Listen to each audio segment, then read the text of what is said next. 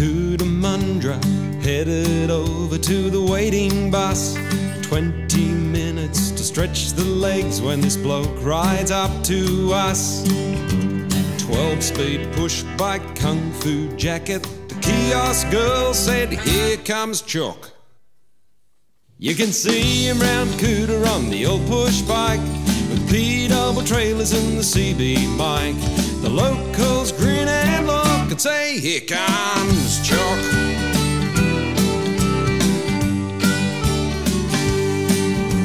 I wandered up, made his acquaintance. He pushed his glasses up on his nose.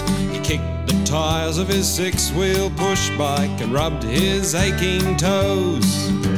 I got a flat, flaming cat heads. He pulled a shifter from a box. You can see him round Coota on the old push bike with the beat of the trailers and the CB mic. The locals grin and look and say, Here comes Chook.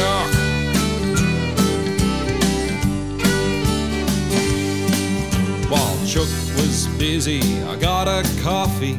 Asked the bussies to fill me in. Jethro from the big white coach gave a crooked grin. Chook meets the buses, he picks up rubbish, does taekwondo on the station lawn.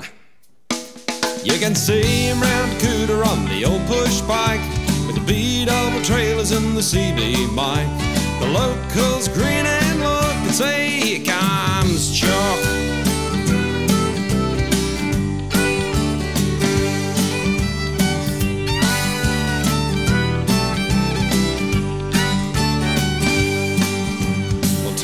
was up, my bus was going. Chook said he was running late.